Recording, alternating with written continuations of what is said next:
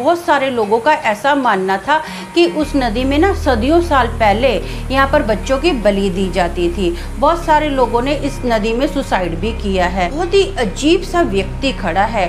उसकी हाइट लगभग नौ फुट की होगी और उसका जो चेहरा है ना, जैसे बकरे का चेहरा होता है, वैसा उसका चेहरा है। बहुत ही खूंखार उसका चेहरा है। बड़े बड़े सिंग है मोटी मोटी लाल लाल आँखें हैं बड़े बड़े दांत है और बाकी का उसका जो बॉडी पार्ट है ना, वो इंसानों की तरह है। उसके लंबे लंबे हाथ हैं। उठता हुआ वही खूंखार आदमी इसके ऊपर आके बैठ गया इसकी छाती पर और सीधा ना उसने क्या किया है अपने हाथों से मोहन का गला दबाना स्टार्ट कर दिया है।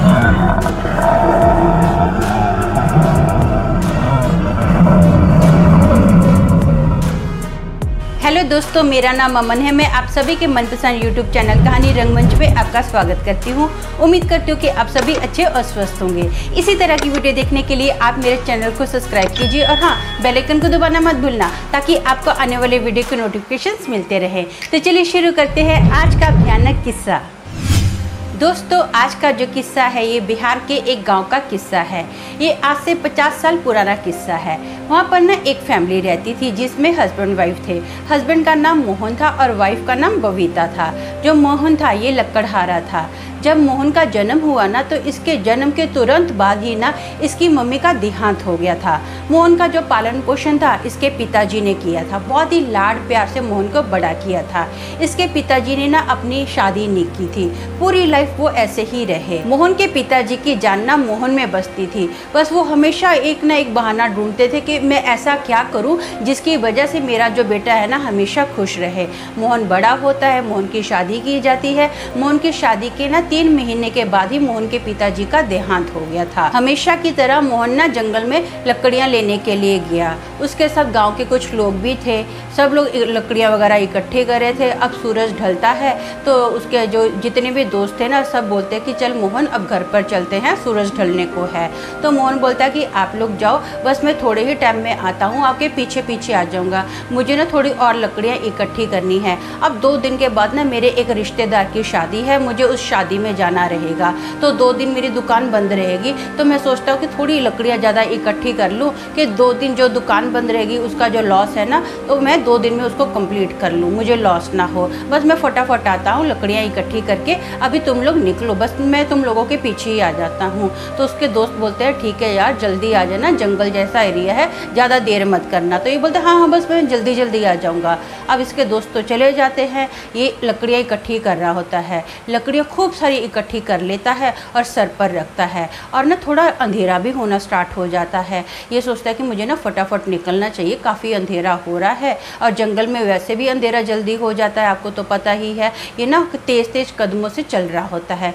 चलते चलते ना ये देखता है कि एक ना हिरन का बच्चा कच्ची सड़क के ऊपर मरा हुआ पड़ा है। वो जो बच्चा है ना हिरन का, बहुत ही डेंजर मौत से मरा है। उसके शरीर की जितनी भी अंतड़ियाँ हैं ना, सब अंतड़ियाँ बाहर आ गई हैं और मक्खियाँ भिन भिन आ रही हैं उसके ऊपर।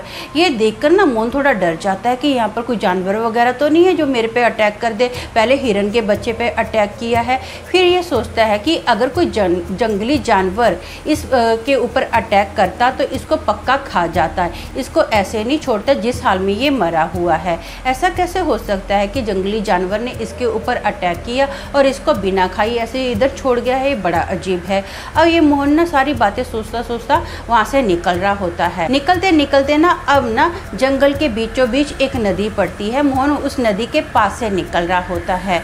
उस नदी के पास से ना जब निकलता है तो बहुत सारे लोगों का ऐसा मानना था कि उस नदी में ना सदियों साल पहले यहाँ पर बच्चों की बलि दी जाती थी। बहुत सारे लोगों ने इस नदी में सुसाइड भी किया है। तो मोहन ना थोड़ा डर जाता है, अंधेरा ज़्यादा होता है तो ये ना फटाफट निकल रहा होता है। फटाफट निकलते निकलते ना थोड़ी ही दूरी पर झाड़ियाँ थी। तो इसको ना झाड़ियों के अंदर से अजीब सी किसी की घुराने की आवाज़ आती है। मोहन फट से वहाँ से उस साइड से देखता है कि ये आवाज़ कौन सी साइड से आई है।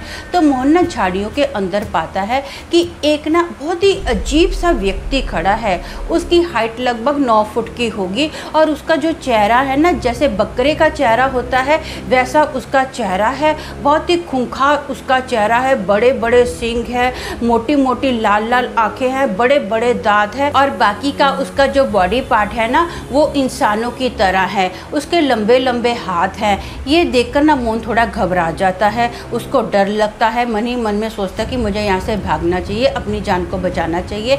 ये कोई ऐसा आम इंसान नहीं लग रहा है, पक्का कोई ना कोई भूत प्रेत होगा। मोहन ना फटाफट वहाँ से भागना स्टार्ट करता है। उसके सर पर लकड़ियाँ भी हैं। अब जैसे जैसे इसके कदम आगे बढ़ते जा रहे हैं ना तो इसको ऐसा महसूस हुआ कि जैसे किसी ने इसको पीछे से ना ज़ोर देने धक्का दिया।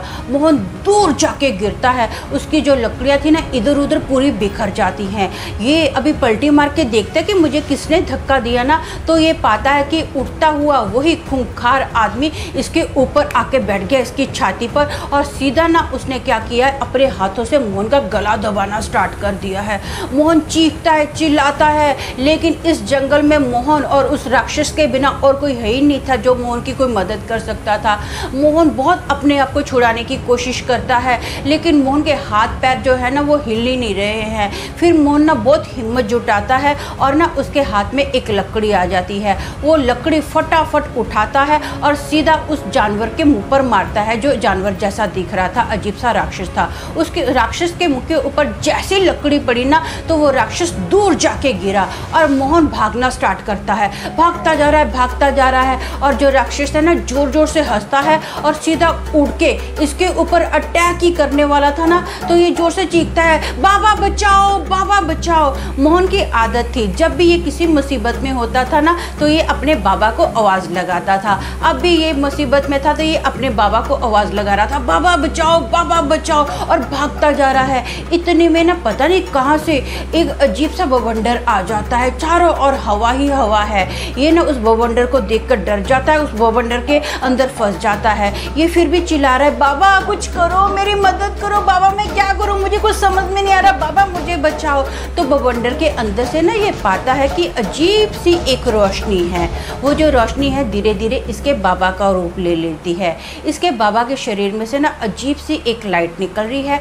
बाबा इसका हाथ पकड़ते हैं और बोलते, चल बेटा, यहाँ से फटाफट भाग। वो जो बवंडर है कंटिन्यू इनके चारों ओर है और बाबा इसके साथ निकल रहे हैं, इसका हाथ पकड़कर भाग रहे हैं।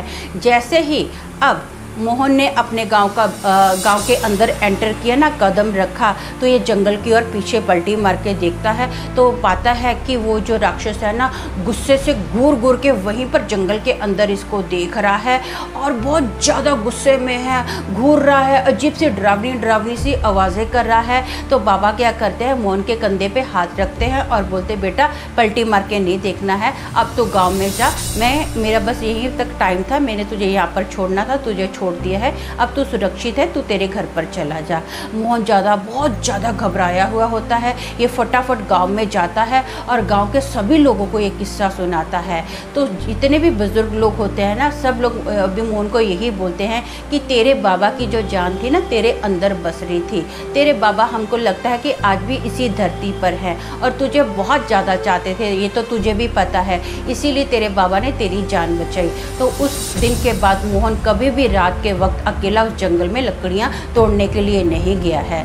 तो दोस्तों, मेरा मानना तो ये है मैं बहुत सारे वीडियो में बोलती हूँ कि कभी भी किसी भी जगह पर, सुनसान जगह पर अकेले नहीं जाना चाहिए। देखो, चाहे पुराना टाइम हो या आज का टाइम हो भूत प्रेत कल भी थे और आज भी हैं। तो बेटर है कि जितना भी हो सकेगा ना, अगर सुनसान जगह पर जाना है तो किसी न किसी को अपने साथ रखना चाहिए। तभी उस जगह पर जाना चाहिए, नहीं तो ऐसी जगह पर कभी नहीं जाना चाहिए। तो आज के लिए बस इतना ही। कल फिर मिलेंगे और एक भयानक किस्से के साथ। तब तक के लिए शालम शांति और सलाम।